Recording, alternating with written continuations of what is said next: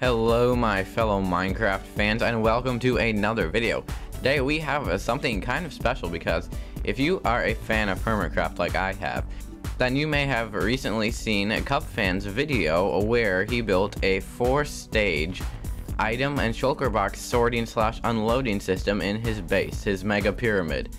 And when I saw that I was like, whoa, I wish I know how to build that and I would love to build that in my survival world on my Comcraft series, which is a survival multiplayer server that I plan with my friends. And I noticed that it was kind of hard to see how to actually build it from his video.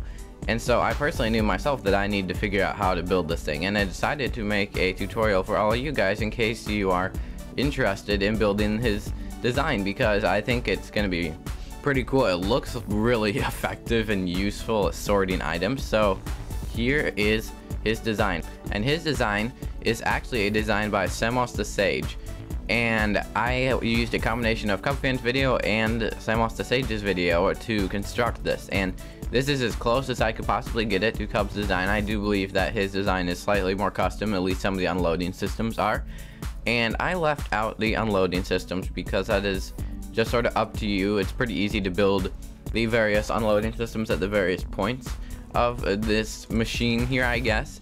But anyways, this is the closest I could come to that just by looking at both of their videos and figuring it out. So I now I need to actually explain what this does and how to build it. So basically, it is comprised of four stages or four modules. The first module separates items and shulker boxes. The items just go into this chest, shulker boxes continue down into here, into the second stage, where they are sorted into empty boxes and boxes with stuff in them. Then they go to the third stage and are sorted into partially full boxes and then uh, completely full boxes. The full boxes stay here and the partially full go down here to a shulker box unloader where the items are taken out and the shulker boxes are put into a barrel or some other device with an inventory. Now to display this, I now here have some items, an empty shulker box, a partially full shulker box, and a completely full shulker box. So, if we put all of that into the system up there. You'll see this starts firing, the items start going into there. If we come down here, we should see the empty box goes into this chest, and the box with stuff remains here. And that is because of the way the system works with redstone blocks that there's always one shulker box left over in the in these in the second and third stage just because of how it works. But as you can see, if we put in one more of these full boxes, this will have, there's another one in here, but it will have made its way all the way down into the full boxes hopper. If you put a third one in, it would actually make it into the chest. But that's just the way the system worked. It's kind of unavoidable having that. So there'll just be one that's left in the machine for each of these modules, but if you come down here, you'll see that this shulker box has already unloaded everything in it. And uh, let me just actually put one in here so you can see it in action. This goes down here, it gets spit out. The items are taken out of it, in this case bird poop, and once it's empty, it just gets shoved over here and goes into that other barrel. So that is how it works. It's pretty fancy. I can definitely see this being massively useful for my own purposes in survival on my Let's Play. But now you guys are probably all wondering, how do you actually build this complicated looking machine? And one thing I'd like to point out first is that it is tileable. The entire machine is tileable.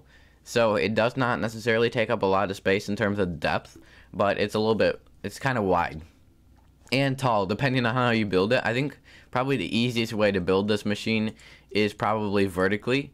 And so let's go over all the individual modules now, starting with the top. Now this module down here is the top module where items and then the shulker boxes go. So you saw that in action up here. Shulker boxes go into there, items go into that chest. So the way you build this is just a double chest or some... It doesn't even need a chest. You could have items directly going into that hopper with a comparator on top of a block and then a sticky piston with an observer facing downward. That is all on that level. And then the next one we have a dropper facing downward into this dropper, which is facing into the shulker box. And we have a an observer facing this iron trap door with a repeater set to a one tick delay. Then we have another observer facing out that way into this observer, which is facing straight up with a block underneath it. Here we have just it needs a dummy shulker box with nothing in it. Because of the way the items and shulker boxes work, you cannot put items, you cannot put shulker boxes inside other shulker boxes. So that is how this actually gets sorted. The shulker boxes just go down here versus the items going into the shulker box and then getting sorted out that way. That is how this module works. It is pretty simple. It just like uses some basic mechanics. It does not take a lot to build, just like four observers, a few blocks, some hoppers, uh, two droppers, and a comparator repeater. No dust or anything required. So that is module number one, or stage number one of this machine.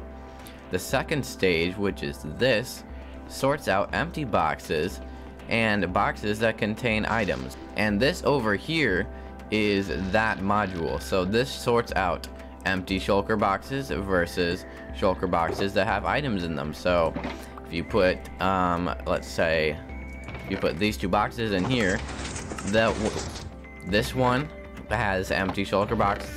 This chest has an empty shulker box, and that's actually just left over from my own testing. But you can see that the box with items is in here, and it got caught in the hopper because of the way the redstone blocks and everything works.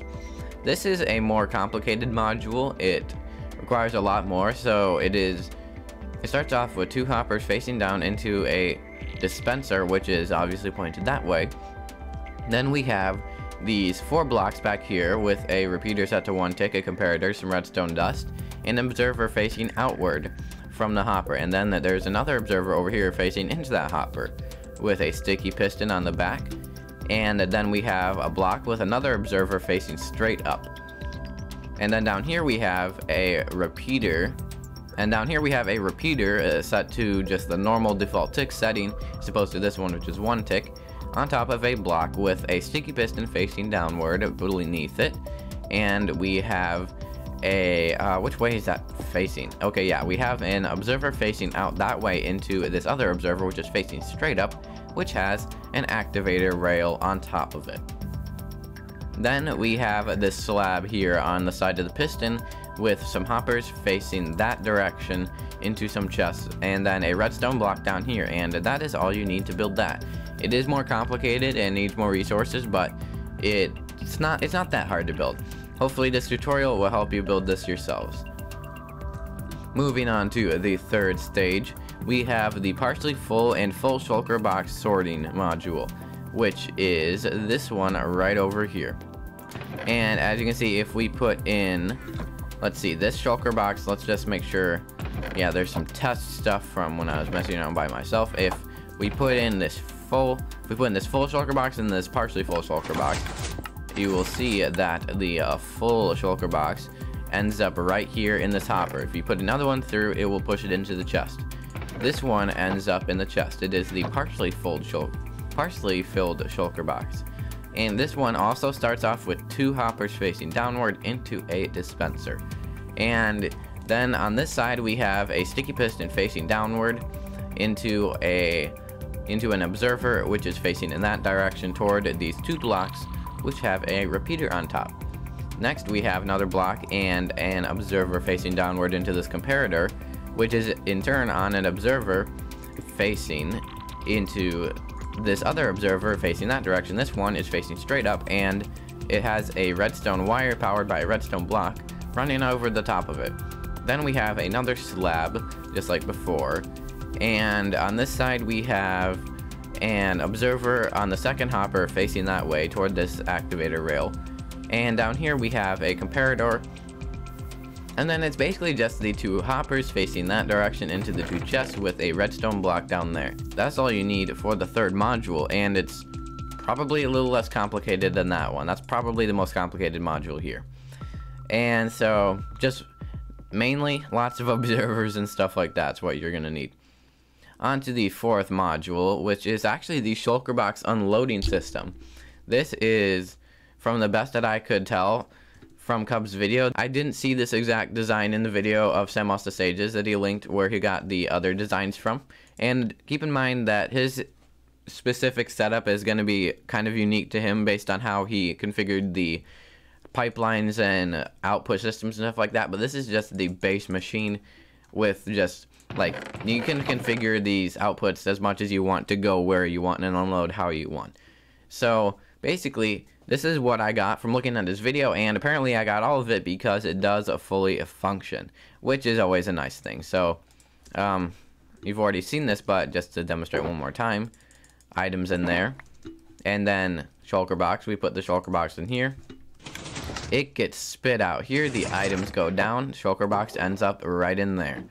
And this design, this module is significantly easier to build than the other two. It just starts off with two more of these hoppers. And you can he did like a six I think he did six modules of these just tiled right next to each other which is why I have this hopper facing outward. But if you're just doing one you don't really need it facing outward. This is just so that you could add more onto the side of this basically. We have an observer facing into that hopper with an observer. Like it's always so hard to tell yeah, that observer is facing up into that observer above it. We have a sticky piston down here with just a block. And then we have a normal piston facing that way underneath this observer with a dispenser facing downward. Then we have just a normal block. Um, we have another, we have a hopper facing downward, and then we have one facing out going into an inventory. Or it could just be another hopper but his design included a barrel here, so that's why I have that. And this is just, we have a comparator on top of that hopper, then a block, then another comparator facing into that block, and then down here we have a dropper facing downward, and that is underneath an observer that is also facing downward. And then up here is a sticky piston and a redstone block. And that is how you construct the fourth module of this machine. And that is basically it for how you build a machine. There are different ways you can tie it in. So I just used hopper chains to transport all the items downward. As you can see, I just obviously took out the chests or just other things in each individual module and made it hoppers when I needed. And so this may look kind of complicated and is complicated, but like what it does is fairly simple. Like I kind of, it doesn't look simple, but it's not, it's not that hard to build. It just takes, you're gonna need a lot of pistons, a lot of hoppers, and a lot of observers. And then you'll obviously need a few comparators, repeaters, redstone blocks, stuff like that to make this design run. And remember that there are different ways that you can configure the outputs for all these different stages. For example, he had like various uh, various automatic item dropper systems for each of the different places where he took items out of the system in his video. But that is up for you to decide and to build according to your needs. And I'm going to point out this looks really nasty floating in midair, so you're going to probably want to either build up a building around it or sink it into the ground, like Cubfan did in his pyramid. He had it all tucked away and hidden underneath his giant well, or whirlpool. But anyways, I hope that you found this video informative or helpful in your quest to have an epic sorting system. I have never had a sorting system this complicated myself, so I'll be happy to build it when I get around to that. But also, um, go be sure to check out Cubfan's video and Samos the Sage's video. I will link both of them down in the description below. This is just a tutorial for how to build the completed machine all hooked together and everything like that in your own survival world. So, if you enjoyed, be sure to like and subscribe with notifications on for more epic videos and I will see you guys next time. Bye!